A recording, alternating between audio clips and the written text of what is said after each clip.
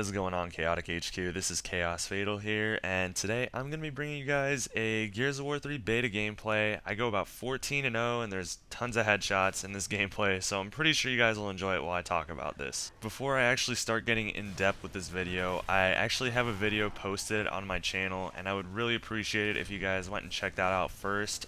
Unless you've already played the beta, then you will know what I'm talking about. If you didn't play the beta, you should definitely go check out that video first before you start listening to this. There will either be a annotation on the video or a link in the description for you guys to go check that video out.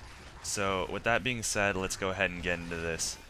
Those of you guys who played the beta will know that there were a good amount of spawn camping issues and spawn trapping issues during the beta on both Trenches and Thrashball. Well since then, Epic has actually done some changes to both Trenches and Thrashball, now on Thrashball, there's actually three exits from spawn. You can either go left towards the frags, you can go up towards the middle where there will be Digger, Torque Bow, Boltok, or you can go to the right and go up top over by Mortar and the Mulcher. So this way when you spawn now, you're not going to have to leave through one area. You, you actually have a choice of where you want to go and you don't have to worry about coming out to a whole team just waiting to destroy you with retro lancers and whatever else they have just waiting for you.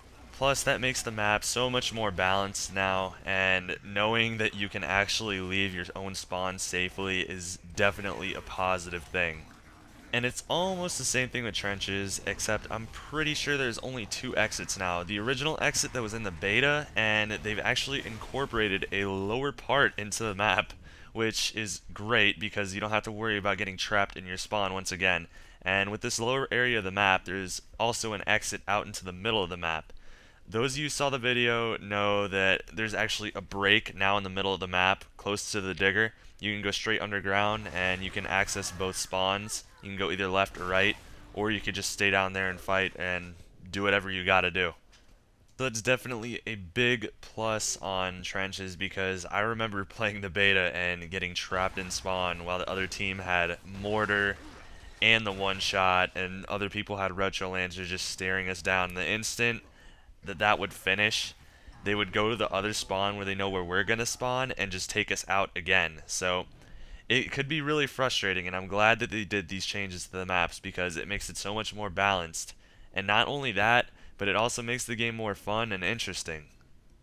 Now, with these map changes, uh, it could still be a potential issue from people who play competitively. Because if you're going against people who know what they're doing, they're gonna say like, okay, two people need to be up top in the area of trenches, and I don't know, say three of us will be down low. We're gonna watch and not let them leave their spawn again, and we're just gonna keep spawn trapping them this way. You'd have to be going against pretty good teams. I'm saying teams of five in order for them to be doing something like that, and even then, it wouldn't be that big of an issue, but it could still cause problems and irritate people. But like I said, even then, it's gonna be hard to spawn trap people because you have a multitude of exits and you could say okay they only have two people watching this area we could have five go up there so overall I think Epic has done a great job revising the maps and changing them up as a whole because like I said throughout the beta there were spawn trapping issues especially on Thrashball because people would get stuck in their spawns and people on the other team would grab nades and just chuck them down there draw them out and just destroy the whole team so it was pretty unfair, and with these new changes, it is so much more balanced, and it's going to make the game that much better.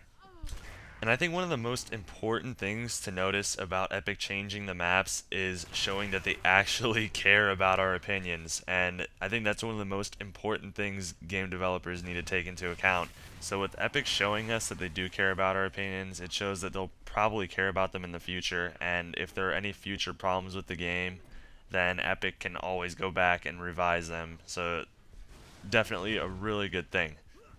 And with that being said, I think that's pretty much all I want to talk about with the whole map revisions. And now I pretty much just want to see comments from you guys in the comment section. Like you could elaborate on what I talked about, or you could discuss other things that you would like to see changed in the game. Either way, Gears 3, we got like less than a month now, so I know we're all hyped. And with that being said, I think I'm going to end this commentary here. I hope you guys enjoyed this commentary. Remember to subscribe to us if you haven't already, and you could also check out my personal channel where I have a bunch of good series going on, and you guys can also be expecting a bunch of great stuff from all of us right when Gears 3 comes around the corner. We have tons of videos planned for you guys. We have a lot of great ideas, so I know you guys are going to love it. So with that being said, I will see you guys next time. Peace.